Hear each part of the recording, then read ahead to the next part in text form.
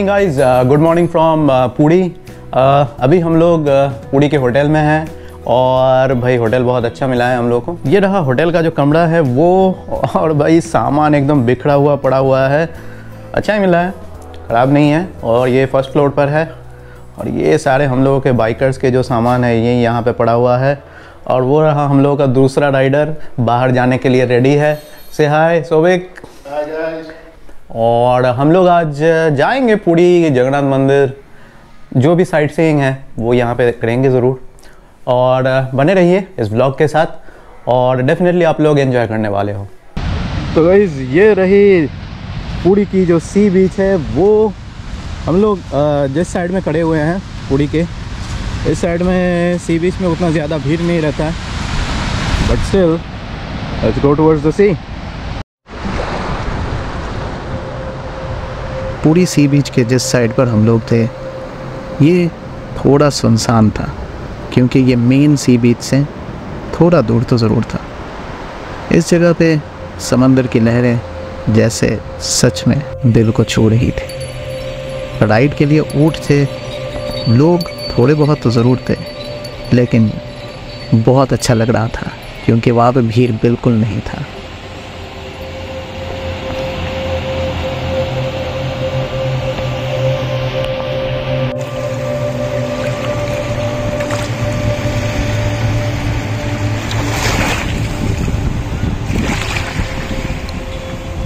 समंदर किनारे टहलते टहलते मालूम नहीं चल रहा था कैसे समय बीतता जा रहा था। फिर हम लोगों ने सोचा कि भाई, चलो, देखते हैं पूरी शहर में क्या है और कहाँ कहाँ घूम सकते हैं। तो गाइस हम लोग एक ऑटो भाड़ा कर लिए हैं। यहाँ के साइट्स कहाँ पे है? साइट सीइंग के लिए मुझे तो मालूम नहीं है कि कहाँ पे जाना है, कहाँ पे नहीं जाना है। तो दैट्स वाई ऑटो में है और ऑटो वाले भैया जो है, हम लोगों को घुमाने वाले हैं, जो यहाँ के साइट्स हैं फ़ेमस साइट्स हैं, वहाँ पे। तो पहले हम लोग जाएँगे थोड़ा ब्रेकफास्ट करने के लिए। चलो, चलते बहुत भूख लगा है भाई। सुबह से सिर्फ़ बीच में ही घूमे जा रहे हैं, खाली पेट।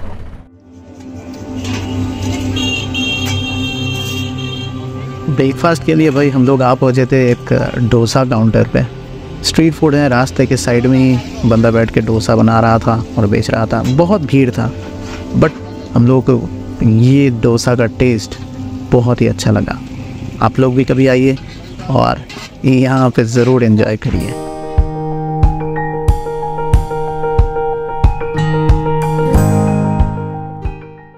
तो भाई ब्रेकफास्ट में ये मिला है डोसा। चलो खाते हैं भाई। साइट सीइंग के लिए आए हैं और यहाँ पे कोई सुभद्रा गौरांगों का मंदिर है। चलो देखते हैं कि क्या है, क्या नहीं है। अच्छी और पुराना मंदिर है। चलो देखते हैं।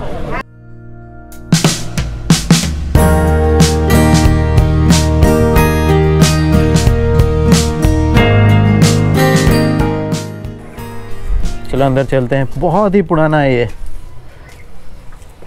टूटा फूटा सा है भाई, ये क्या है?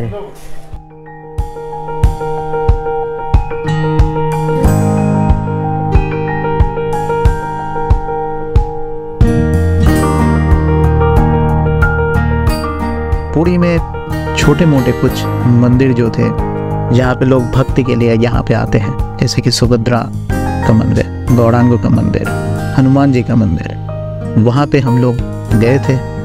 लेकिन मोबाइल फ़ोन्स और कैमरास वहाँ पे बैंड थे, इसी वजह से ज़्यादा वीडियो नहीं बना पाए। तो गाइज़ हम लोग अभी पुरी का जो गुंडीचा मंदिर है उसके सामने है और ये मंदिर का बाहरी दरवाज़ा है और द रीज़न ये ऐसा है क्योंकि अभी ये बंद है, अंदर कोई अलाउड नहीं है। ले भाई, यहाँ पे सिर्फ़ orthodox Hindu are allowed entry inside the temple और मोबाइल फ़ोन कैमरा सब कुछ बंद है, यानी कि बैंड है।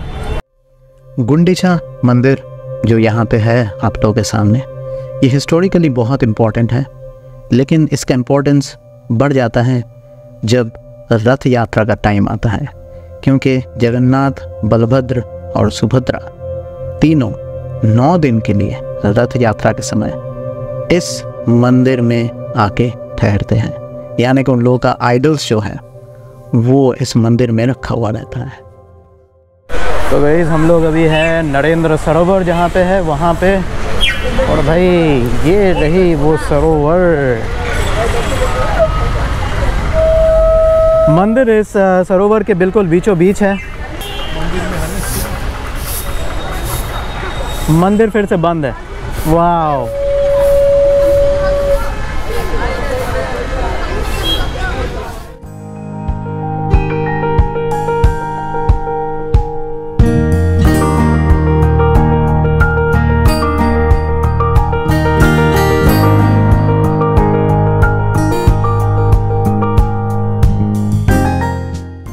गैस हम लोग अभी नरेंद्र सरोवर में हैं और ये मंदिर सरोवर के बिल्कुल बीचों बीच है। और ये रही वो सरोवर जो कि हम लोगों के बिल्कुल पीछे है अभी। बहुत गहरा है तालाब। मंदिर अभी बंद है, इस वजह से अंदर नहीं जा पा रहे हैं। ये रही मंदिर। चलो, चलते हैं नेक्स्ट अट्रैक्शन की तरफ़। तो गैस हम लोग आ पहुँचे हैं श्री गौड़ विहार आश्रम। जो कि पुरी का एक बहुत ही प्रसिद्ध साइट है। यहाँ पे बहुत ज़्यादा लोग आते हैं एंट्री फ़ीस दस रुपये करके है। और हाँ यहीं पे आके आप लोग जगन्नाथ जी के पास बैठ के एक सेल्फी ले सकते हैं। क्योंकि देखिए सेल्फी लेने के लिए पूरी का जो जगन्नाथ मंदिर है, वहाँ पे आप अलाउड नहीं हो, लेकिन यहाँ पे जी भर के सेल्फी ले सकते हो। इस पूरे गार्डन में बहुत सारी मूर्तियाँ हैं, जो कि आइधर प्लास्टर ऑफ़ पेरिस या फिर प्लास्टिक के बने हुए हैं। और ये मूर्तियाँ बहुत ही खूबसूरत हैं। आश्रम या फिर ये गार्डन जो भी है, थोड़ा बहुत घूम लिए और लोग यहाँ पे एंजॉय ज़रूर कर रहे हैं। और गार्डन कुछ अच्छा ही है, इतना भी बुरा नहीं है। आप लोग आ सकते हो, ज़रूर देख सकते हो अच्छा लगेगा।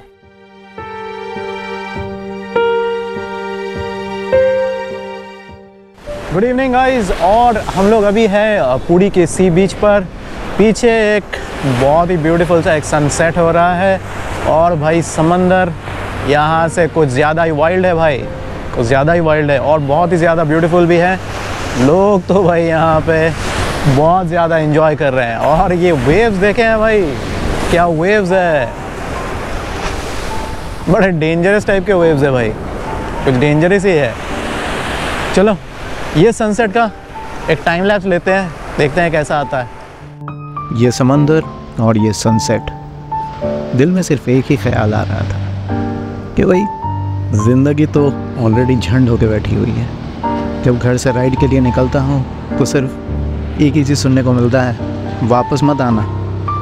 जब जहाँ पे जा रहा है, वहीं पे रहियो। तो भाई, ज़िद वही है कि भाई ज़िंदगी है, जी लेते हैं। अपनी मर्ज़ी से जी लेते हैं। इसी वजह से निकल पड़ते हैं। अगर आप लोगों को वीडियो पसंद आया हो तो एक लाइक ज़रूर कर दीजिएगा। कमेंट करिए, शेयर करिए। अगर अच्छा लगे तो और हाँ सब्सक्राइब करना मत भूलिए।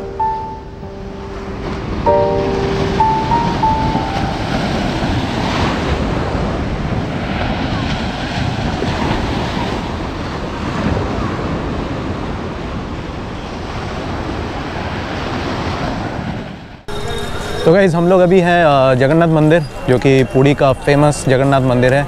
उसके सामने है।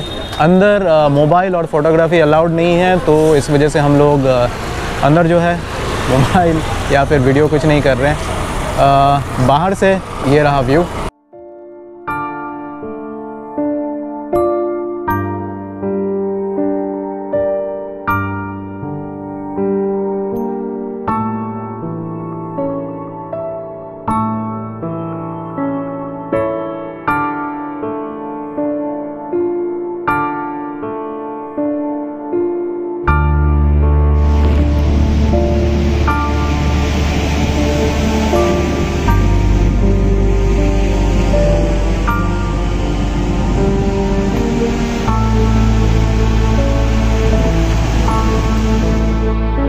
ओडिशा बाइक ट्रिप की सेकेंड डे की ये व्लॉग आज यहीं देखे नेक्स्ट वाले व्लॉग में हम लोग जाने वाले हैं कोणार्क की तरफ़। वो व्लॉग भी बहुत ही जल्दी आने वाला है।